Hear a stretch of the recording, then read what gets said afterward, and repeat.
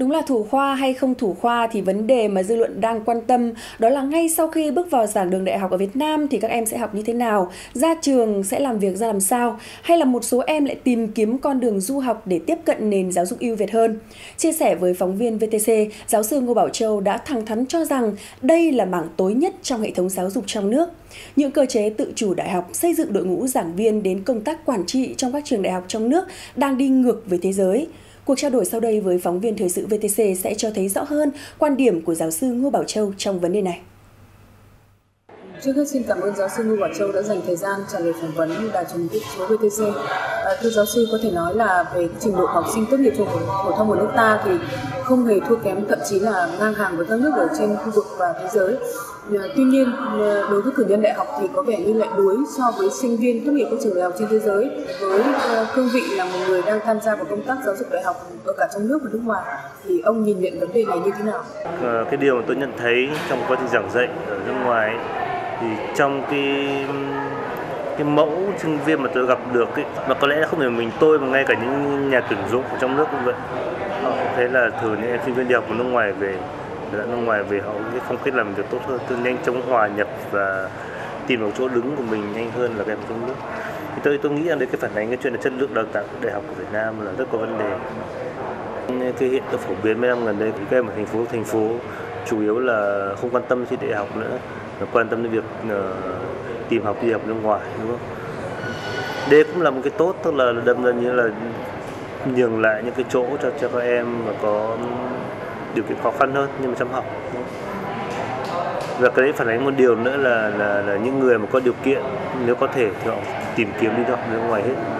Thì đấy cũng là một cái dấu hiệu khác về cái cái cái cái, cái chất lượng của đại học Việt Nam vấn đề ở đây là vấn đề nó toàn toàn diện. Chắc là không thể là phân tích hết tất cả các vấn đề được nhưng mà thấy cái chất lượng đầu ra từ cái chất đầu vào không nên nỗi tệ lắm. Chất lượng đầu ra thì có một khoảng cách rất lớn so với cả trình độ quốc tế.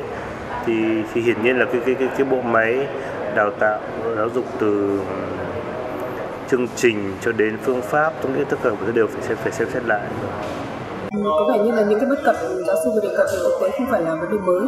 Bởi vì trong mấy năm trở lại đây thì chúng ta đã triển khai những cái đề án gọi là đổi mới toàn diện giáo dục đại học.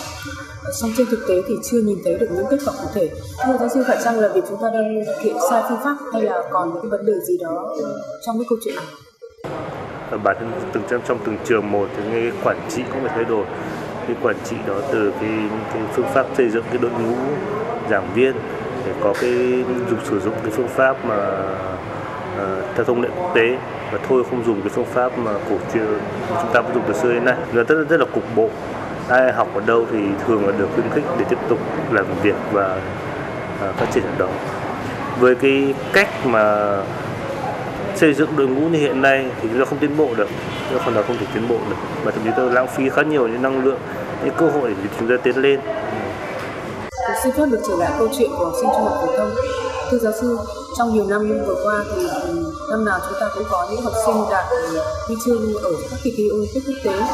Song trên thực tế thì cái nền khoa học cơ bản nước nhà lại chưa có được cái thành tích gì để có thể ghi nhận với thế giới. À, theo ông thì cái câu chuyện ừ, đầu tư cho khoa học cơ bản hiện nay như thế nào?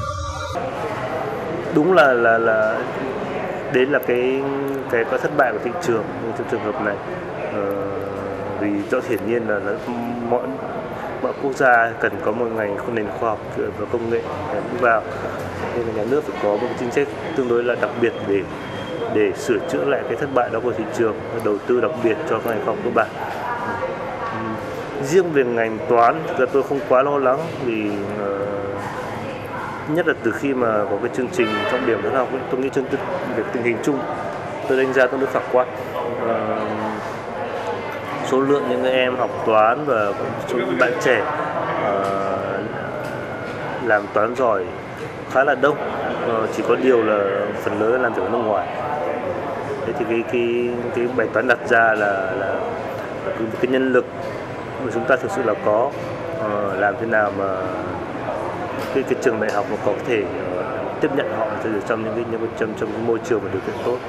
Uh, tức là cái, đấy chính là cái lời giải cho cái bài toán bài toán ờ, đại học nói chung đấy.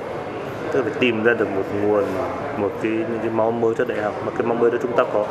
Tôi nghĩ chúng ta có có con số những mấy chục nghìn uh, sinh viên Việt Nam đi học nước ngoài và đã làm tiếp tốt nghiệp PhD thì những cái đấy là những nhân lực mà chúng ta có nhưng mà cái chúng ta chưa có cái cơ chế để cuốn hút họ về xây dựng lại nền đại học Việt Nam.